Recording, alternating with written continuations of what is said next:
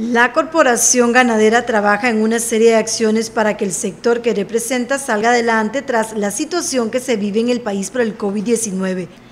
De acuerdo con su presidente Miguel Mena, los ganaderos registran bajas pérdidas, sobre todo en ventas en el litoral pacífico, pero son pocas en comparación con lo que viven otros sectores. Eh, el, sector ganadero no ha sufrido grandes, grandes situaciones como si el turismo, como si las flores, ah, o como si los restaurantes, o, eh, los mismos autobuseros, eh, sin infinidad. No, no, no. El sector ganadero en este momento, no digo que no hay cosas que se deberían de mejorar, pero que ya venían antes del COVID, exactamente. No, pero el COVID no le ha dado grandes grandes golpes al, sector ganadero. En la agrupación hay preocupación, eso sí, si esta pandemia continúa. A mí me preocupa un poquito si esta pandemia continúa cinco meses más. Yo no sé qué va a pasar.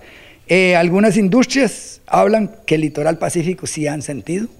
Los que vendían en el litoral pacífico, estoy hablándole de de Guanacaste a la zona sur, todo el litoral pacífico, que tenía tanto turismo, sí han sentido, y algunos me han comentado que ellos sí han sentido muchísimo, inclusive han cambiado la línea para meterse en otro lado, pero los que venden en la meseta central o los que exportan, no ha sido tan, tan drástico. La corporación mantiene una comunicación fluida con las autoridades como el MAC y SENASA, Trabajó en la elaboración de protocolos en subastas. Se presentaron dos solicitudes de reducción del precio del diésel y del impuesto de bienes inmuebles ante los diputados. Petición de compras institucionales para hospitales, Sensinay, centros penales y otros.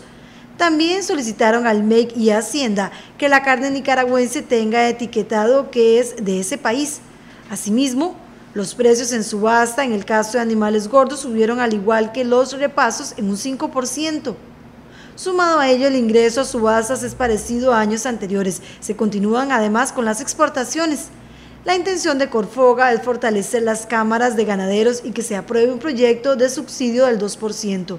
Una vez normalizada la situación, continúan fortaleciendo las escuelas de campo para convertir al ganadero en un empresario más. El ganadero costarricense se acostumbró a un sistema tradicional, llamo yo. ¿Qué, quiere decir esto? De que compran el ganado, no hacen números, no ven como de una forma empresarial su negocio decir esto, que no solo tiene que llevar controles y no solo tiene que llevar controles de inventario, no solo tiene que llevar registros, sino también tiene que ver la tasa de retorno que le produce su negocio.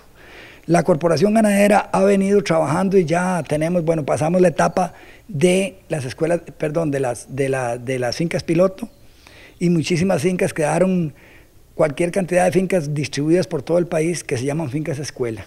Ya hemos hecho reuniones en el sur, hicimos dos, y que, yo participé en una, y a nivel país eh, ya veníamos arrancando con eso cuando entró el COVID.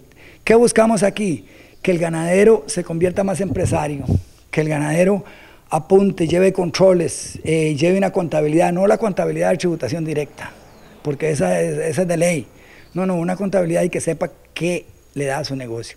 Cosa que sí hace el ferretero, cosa que sí hace el pulpero, cosa que se hace el dueño de la tienda y todos los empresarios. El ganadero se acostumbró de por ser un campesino y su forma es de compro el ganado, me espero un año y cuando está, lo veo que está gordo, llevo al vecino a ver si ya está bonito para venderlo y lo vendo y no me fijo ni cuánto me quedó, ni cuánto tiempo lo tuve, ni qué le metí.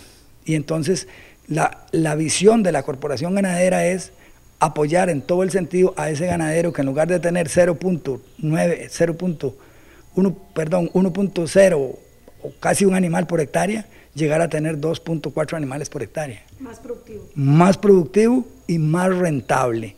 Y bajar un poco, ver a ver cómo ese ganadero también baja los costos de operación de su finca, que es básico también. También se trabaja en pro del medio ambiente. Totalmente cuidar el medio ambiente. Aquí yo pienso que el, medio ambiente ya está comprobado que, que nosotros más bien aportamos en lugar de hacerle daño al medio ambiente.